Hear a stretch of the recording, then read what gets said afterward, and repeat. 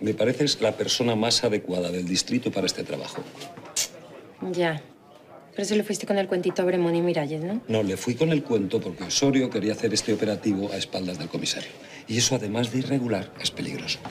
Psst, siéntate.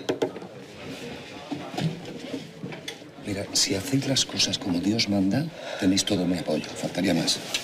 Sí, de hecho, me encantaría estar en ese operativo. Porque no creo que Osorio quiera verme por allí. ¿Lo dices en serio? Hombre, claro. Somos compañeros, ¿no? Se supone que estamos para cubrirnos el uno al otro. ¿Eh? Además, que si te pasa algo, tengo que aguantar a García de compañero toda la vida, no me jodas.